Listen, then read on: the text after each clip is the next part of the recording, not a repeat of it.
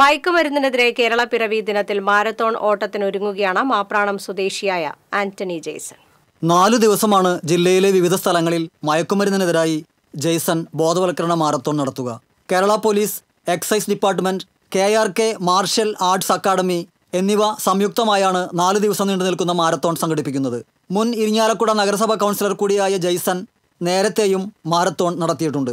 രണ്ടായിരത്തി പതിനാറിൽ രാജ്യത്തിന്റെ ഐക്യത്തിനും അഖണ്ഡതയ്ക്കുമായി കാശ്മീർ മുതൽ കന്യാകുമാരി വരെ ഇദ്ദേഹം യൂണിറ്റി റൺ നടത്തിയിരുന്നു. അൻപത്തിയഞ്ച് ദിവസം കൊണ്ട് പൂർത്തീകരിച്ച ഈ ഓട്ടം ഏഷ്യൻ റെക്കോർഡിൽ ഇടം നേടി. അത് രാജ്യത്തിന്റെ ഐക്യത്തിനും അഖണ്ഡതയ്ക്കും വർഗീയതയ്ക്കും എതിരെയാണ് ഓടിയത്. അത് അമ്പത്തഞ്ച് ദിവസം കൊണ്ട് കാശ്മീരിൽ നിന്ന് കന്യാകുമാരി വരെ ഓടിയെത്തി. അപ്പോൾ അത് ആ സമയത്ത് അത് വേൾഡ് റെക്കോർഡ് ഏഷ്യൻ റെക്കോർഡൊക്കെ ലൊക്കെ ഇടം നേടിയ ഒരു മാരത്തോണാണ്.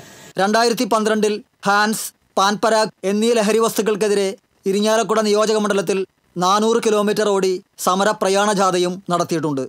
നവംബർ ഒന്നിന് ചാലക്കുടിയിൽ നിന്നാണ് മയക്കുമരുന്നിനെതിരെ മാരത്തോൺ ആരംഭിക്കുന്നത്.